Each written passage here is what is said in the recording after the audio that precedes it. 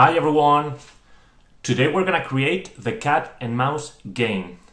It is a very basic game in which we control the mouse and the cat is chasing us and we have to escape and survive for some time. This game is very easy to code, but at the end I will give you some ideas to make your game better. So if you're ready, let's get started.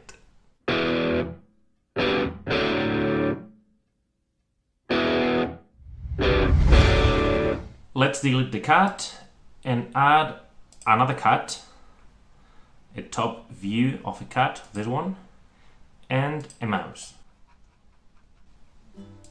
this one. As they are too big for this screen, it is very difficult to escape from this cat. I'm gonna make both smaller. I'm gonna reduce their sizes to 50. Alright, that's more reasonable. So let's begin with the mouse we're gonna go to events and when green flag clicked forever the mouse is going to go to mouse pointer. So now when click on the green flag you see the mouse comes to the mouse pointer. But as you see it is pointing the same direction all the time. So to fix that before going to mouse pointer we're, not, we're gonna make it point towards mouse pointer. So now as we move, you will see the mouse comes towards us. So with this, with these blocks, the mouse is made for the moment. We have to add several things. Let's go to the cat. Here in the cat, same event, when green flag clicked, forever, the cat is going to point towards the mouse, point towards mouse 1 and move. And this number will determine the speed of your cat. 7 could be reasonable, but this is something you have to try in your games and if you think this is too fast or too slow, you change that number. Okay, let's try how it works. Alright, that's good. The cat is chasing me and I can control the mouse. If I stop, well, it goes crazy. Alright, so um, something to, to keep in mind. When I click on green flag, the mouse instantly appears here. If the cat starts here, the cat is gonna eat us as soon as we start the game. So we have to make the cat start from the other corner. As you see, when I place the cat here, it tells me that the current position of the cat is x197, y negative 100, 37. So at the beginning of the game, before the this loop, the forever loop starts, we're gonna make the cat go to this position. And no matter where the cat ends the game, the next game, the cat is gonna start from the corner and we'll have time to react. That's the point of, of doing this. Okay, so we have to add an end to the game, an end when we lose and an end when we win. Winning could mean surviving for a while. We will say later how long we have to survive. So let's go to the mouse and we need two conditions. What happens if I lose and what happens if I win. When do I lose? That's the question. Okay, I lose when my mouse is touching the cat. So let's go to sensing and we say if Look, I'm programming the mouse, I'm coding the mouse. If touching cat, we have lost. One thing we can do, which is very simple, it's in control, we can stop all. Let's check it. When I touch the cat, everything stops. But apart from stopping, maybe we can we want to create the effect of the cat eating the mouse. So very easily we can hide the mouse. So let's go to looks. And before stopping all, we're going to hide the mouse. Let's see. Okay, it works, but we have forgotten one thing. What? Imagine we want to play that game again. I click on green flag and the mouse doesn't show. It doesn't show because I haven't told the mouse to show at the beginning of my game. So let's pick this block and let's drag it here. And now, green flag, mouse appears, it is eaten by the cat, I click on green flag, and I can see the mouse again. Okay, um, so this is good, this is quite reasonable. We can do one more thing, we can switch the backdrop, we can add a backdrop in which uh, we write a game over message, for example. I'm gonna do it. We go here to state, to backdrops, here, backdrops, and the only backdrop that I have for the moment is this white one.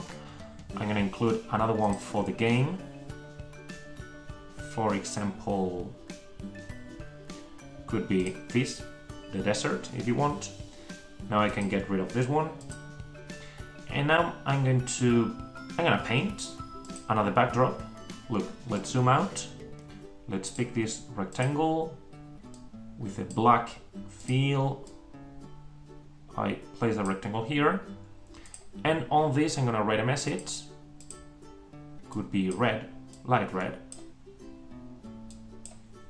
Game over. Selection tool. Let's make it larger and let's center it. And let's change its name. Game over. And now let's go to code and to the mouse.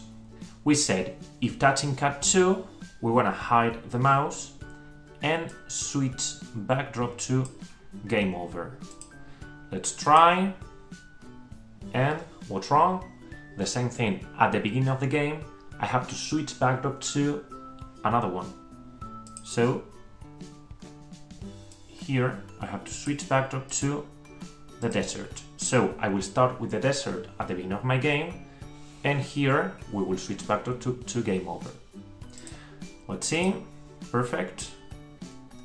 When I'm eaten by the cat, we switch backdrop to game over. When I click on green flag, I start here again. So the game over thing is finished. Now let's go to the winning part. What happens when I win? Well, I want to win when I have survived for 30 seconds, for example. If I go to sensing, here we have a timer.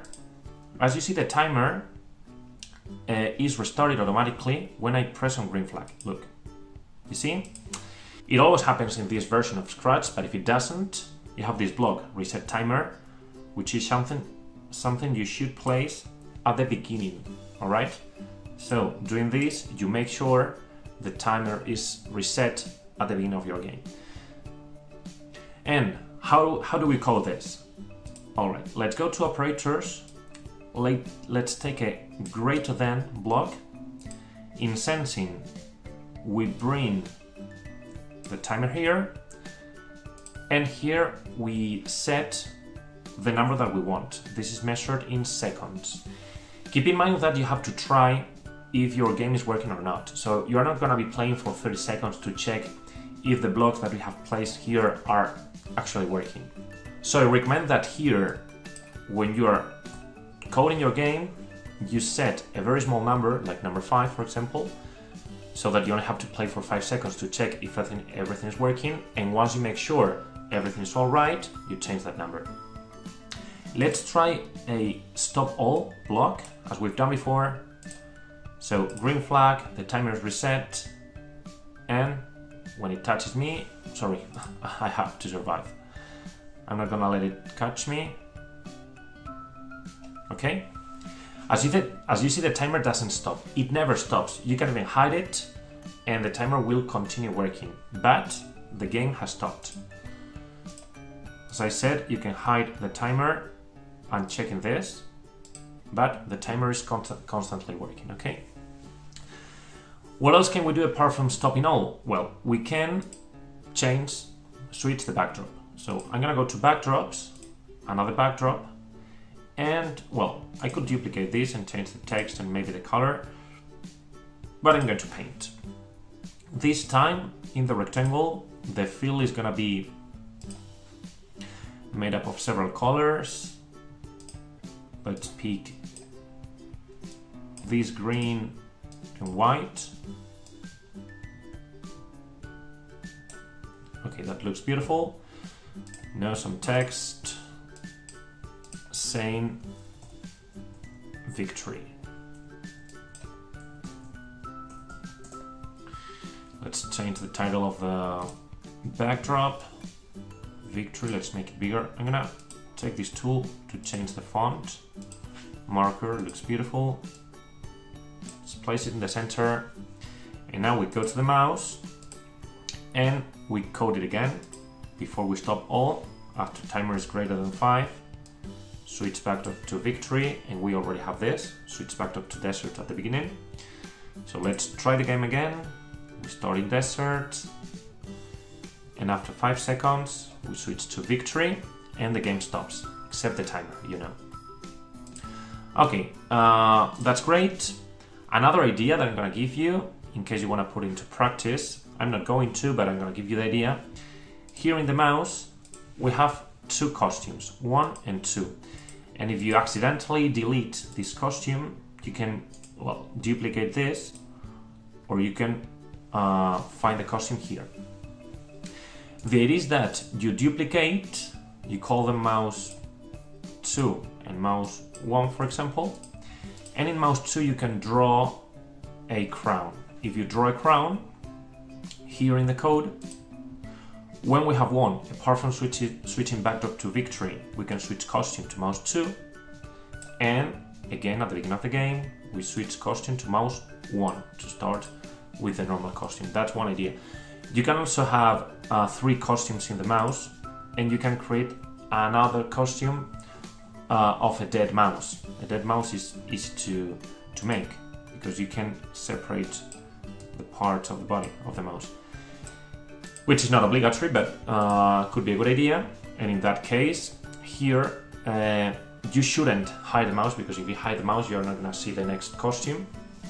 But instead of hiding the mouse, you could switch costume to mouse two or three, well, the one that is the dead mouse. And as I said at the beginning, switch costume to, to the initial mouse. That's an idea that you can put into practice, but well, that's up to you. And well, an extra idea that I wanted to give you uh, is change the speed of the cat as time passes. So uh, the more time we have survived, the longer we have survived, the faster the cat is. How do we do that? Well, here we cannot have a, a fixed number. We must have a variable. So let's go to variables and I'm gonna make a variable called speed. I'm gonna drag speed in here and now this is going to move speed steps. And what is speed? Because as you see uh, here, as default, it is zero. But it's not gonna be zero because I'm gonna create a parallel program here, which will say that when green flag clicked, so at the beginning of my game, I'm going to set speed to 5. So, according to my program, uh, the cat is going to move five steps because speed equals five. But I'm going to add a forever here, a wait two seconds, and a change speed by one. What does it mean? It means that every two seconds we're gonna change speed by one. Then we will wait two seconds and we will change speed by one. So speed is going to be increasing again and again. Let's look. Uh, I'm gonna change this because I need to play for more than uh, 5 seconds so that you see the change of speed. When I click on green flag you will see speed uh, is set to 5 but every 2 seconds speed increases. Now speed is 6, now speed is 7, 8, 9, 10, and you see the cat is moving faster and faster. Okay, that's good. So, well, with this, the game could be finished. If you want an extra idea that I, I told my students, uh, instead of putting here speed, you could put timer, and that makes that in the second number one of my game, the speed is gonna be one but in second number 20, for example, speed is going to be 20 and so on. So every second, speed increases one, okay? But well, that's an idea that you can try by yourselves. I'm gonna leave this here, and this is the end of the tutorial. I hope you liked it, guys. I know this is for beginners, but I wanted to bring this game to the channel. So, as usual, feel free to try creating the game, ask me any questions, and whatever you want. and I will see you next time. Bye bye!